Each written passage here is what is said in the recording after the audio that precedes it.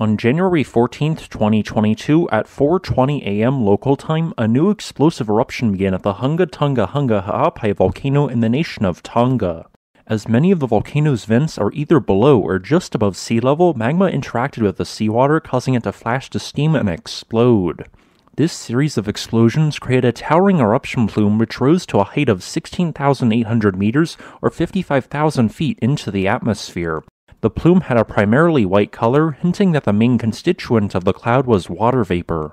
However, at lower elevations of up to 11,000 feet, a distinguishable cloud of ash was also ejected, along with significant amounts of sulfur dioxide gas. This sulfur dioxide gas soon descended on the island of Tongatapu, causing a distinct odor. Then, many residents noted a secondary effect of the eruption.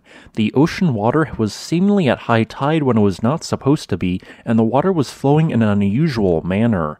Unknown to these residents, what they were witnessing was a small scale tsunami. Instruments recorded a more than an hour long peak correlating with a 30 centimeter or 12 inch high tsunami. While it is unknown exactly what caused the tsunami, here are my thoughts. I did the math, and the observed small tsunami was likely generated when an area of approximately 50 million cubic meters of rock slid into the ocean over the span of several seconds. For comparison, the theorized landslide is similar in size to the 2010 landslide at the Mount Meager volcano in Canada. This large landslide could have either occurred on the island or at one of its submarine vents, such as adjacent to the 1989 eruption vent. While this tsunami is confirmed, its direct cause is not.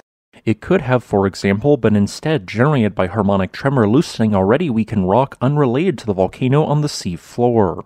In the event it originated on the island of Hungatanga Ha'apai, there should be a large C shaped crater on the island which will become visible once the ash column clears. While the tsunami was non destructive, the mere fact that it occurred is worrying volcano edifice collapses are typically very difficult to predict, especially at small volcanic islands. A similar larger volume volcanic tsunami occurred in 2018 at Anak Krakatoa, which generated waves up to 25 meters in height and devastated the local coastline.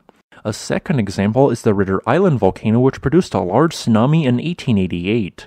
While I do not personally expect an even larger tsunami to occur, I do recommend that several buoys be placed within 10 kilometers of the volcano. This would give advanced warning in the unlikely event another larger tsunami was to occur. Today's eruption was most definitely a surprise as Hunga Tonga had produced a very recent eruption which began on December 20th and ended on January 1st. This prior Surtseyan eruption created intermittent plumes of ash and ejected bombs of lava alongside generating small pyroclastic flows. All of this activity during a 13 day period expanded the landmass of the volcano by 72% via a new volcanic vent. After January 1st, volcanic tremor at Hunga Tonga stopped and the emission of volcanic gases returned to normal levels. Then, on January 4th, a magnitude 5.0 earthquake hit to the west of the volcano. It occurred deep in the upper mantle, but seemingly had a volcanic signature to it despite its distance from the island. A week later, on January 11th, a second earthquake, which was much shallower, occurred and it had a similar signature, rating on as a magnitude 4.9. While minor, these earthquakes can now be reinterpreted as signaling the intrusion of a second batch of magma into the Hunga Tonga Hunga Ha'apai volcano. Over the next 3 to 15 days, more explosions will occur as Surtseyan style activity creates black and white colored plumes of ash and further expands the island. If you're an airline pilot, I recommend avoiding the region marked on screen until this brand new eruption ends.